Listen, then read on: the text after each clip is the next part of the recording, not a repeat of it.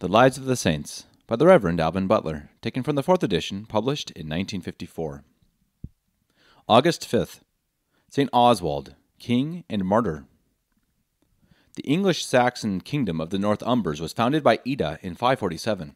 After his death, the northern part called Bernicia was preserved by his children, but Deira, that is the southern part comprising Yorkshire and Lancashire, was occupied by Aella or Alla, and after his death was recovered by Ethelfrid, grandson of Ida, who ruled the, ruled the whole kingdom of Northumbers 24 years.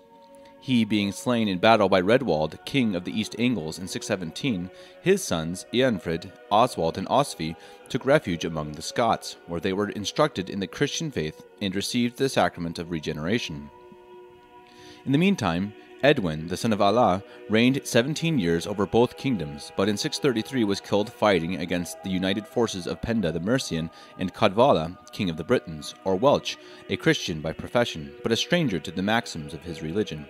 In his manners, a barbarian and an implacable enemy to the English Saxons.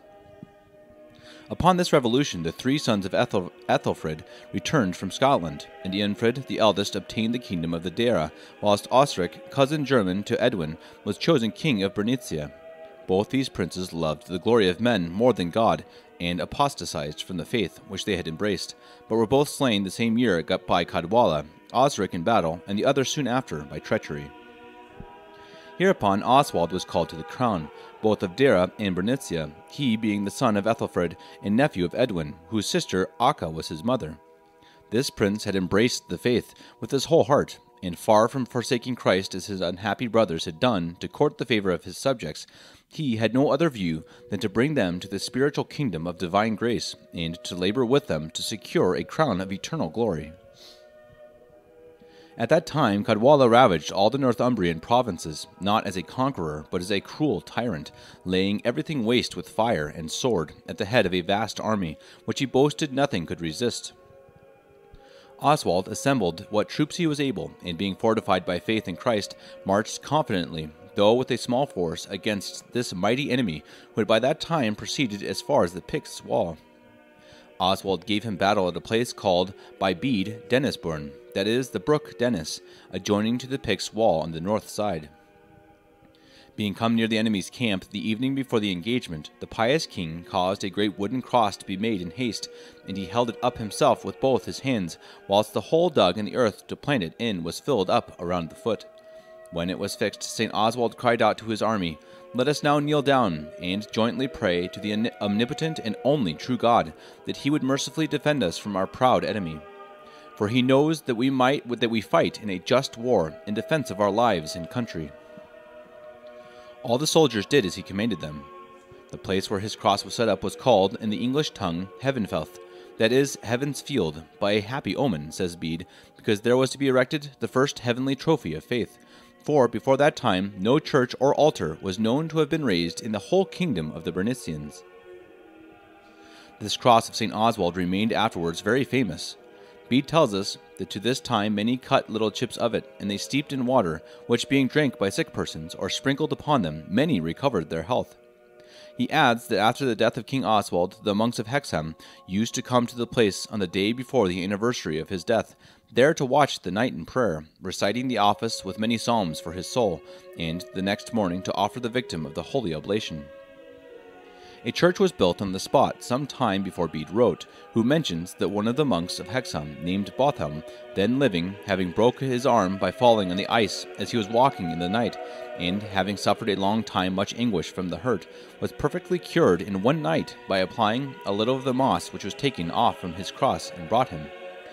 The learned Alcuin, in his poem on the bishops and saints of York, published by Mr. Thomas Gale at Oxford, relates how the pious king no ways daunted at the multitude and ferocity of his enemies, encouraged his soldiers to a confidence in Christ, and exhorted them to implore his protection prostrate with him on their faces before the cross which he had set up. The author likewise adds an account of several miracles wrought down to this time in 780 at the relics of St. Oswald, and at this cross, or by chips cut from it, infused in water by drinking, which many sick were cured, even in Ireland and other distant countries. So great was the veneration of the people for this cross that the Abbey of Durham used for its seal, during several ages, this cross on one side, and on the reverse the figure of St. Oswald's head, as Mr. Smith exhibits it from several ancient records. Almighty God was pleased to bless this king's faith and devotion by granting him and his small army a complete victory over Cadwalla, who was killed in the battle, and his forces, with those of his allies, entirely routed. St. Oswald, after giving thanks to God, immediately set himself to restore good order throughout his dominions, and to plant in them the faith of Christ. By his ambassadors, he entreated the king and bishops in Scotland to send him a bishop and assistants, by whose preaching the people whom he governed might be grounded in the Christian religion and receive baptism. Aidan, a native of Ireland and a monk of the celebrated monastery of Hiesh, was chosen for the great and arduous undertaking, and by his mildness soon repaired the mischief done by another monk sent thither before him, whose harshness had alienated many from the sweet law of the gospel. The king bestowed on Aidan the Isle of Lindisfarne for his episcopal seat, and was so edified with his learning and zeal that this great prince, before the bishop could sufficiently speak the English language, would be himself his interpreter and explain his sermons and instructions to the people. Oswald filled his dominions with churches and monasteries, and whilst he was governing his temporal kingdom, was intent only to labor and pray for an eternal crown. He very often continued in prayer from the time of matins at midnight, to which he rose with the monks, till daylight, and by reason of his frequent custom of praying or giving thanks to our Lord at all times, it is said that, wherever he was sitting, he would have his hands on his knees, turned upwards towards heaven. Bede says that he reigned over Britons, Picts, Scots, and English.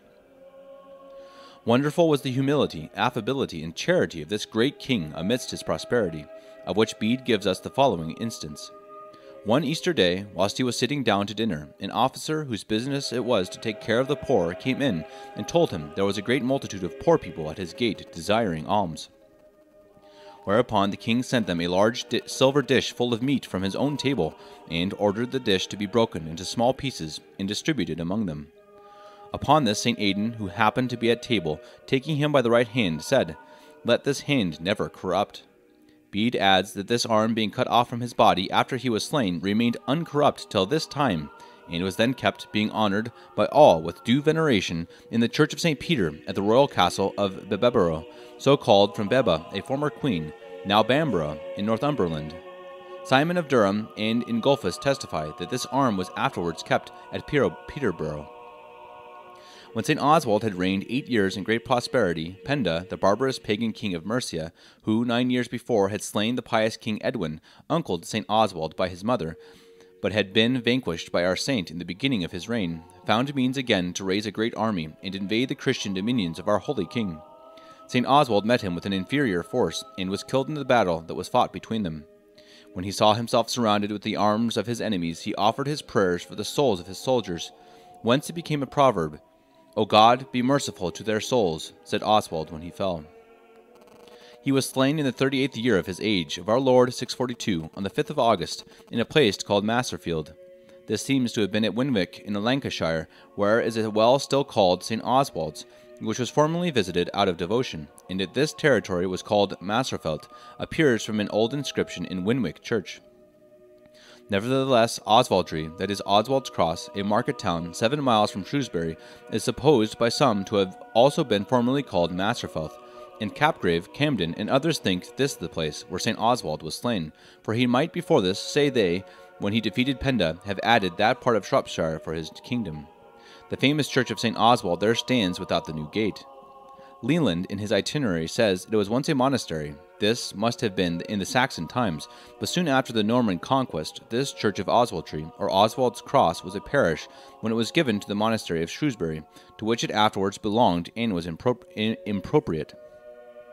See Tanner in his monast- monastic history, who says the town called Album Monasterium or White Minster was not Oswaldry, but Whitchurch, which was once a monastery. The church of Oswaldry was probably so called from St. Oswald's cross, of which it was probably possessed, but Winwick in Masterfelth in Lancashire more justly claims the honour of his martyrdom. The inhuman tyrant caused the saint's head and arms to be struck off and fixed on poles, but St. Oswald's brother and successor Oswy took them away the year following, and carried the arms to his royal palace and sent the head to Lindis- Lindisfarne. The head was afterwards put in the same shrine with the body of St. Cuthbert, and with it translated to Durham, as Malmesbury and others assure us. The rest of St. Oswald's body was translated by his niece Osfrida, wife of Ethelred, king of Mercia, to the monastery of Bardney in Lincolnshire. During the Danish eruptions, these relics were removed by the care of Ethelred, king of the Mercians, to Gloucester, where Alfreda, Countess of Mercia and daughter to King Alfred, built the Church of St. Peter. The monument, erected to St. Oswald there, is still to be seen in a chapel of this cathedral between two pillars, but part of the relics were translated to the Abbey of St. Winiksberg in Flanders in 1221, and deposited there with great solemnity by Adam, Bishop of Terouanne. The barbarous King Penda, after he had slain five pious kings, Edwin, Oswald, Sigebert, Egric, and Annas, turned his arms against Oswy, who tried in vain to soften him by presents and the most favorable proposals. Seeing himself rejected by man, he turned his gifts into prayers and bound himself by vow, in case he should be victorious, to consecrate to God his daughter Ethelenda, then only one year old, and give with her twelve portions of land, each of which was sufficient to maintain ten families, to build and endow monasteries. God heard his vow, and Oswy, with an inferior army, defeated and slew the tyrant near Loydon, now Leeds in Yorkshire, in 655. The place of this battle was called Winwidfield, Winwidfield, or Field of Victory, situated on the river Winwad, now Aire. With Penda, who was then eighty years old, in which he had reigned thirty, fell thirty commanders of royal blood.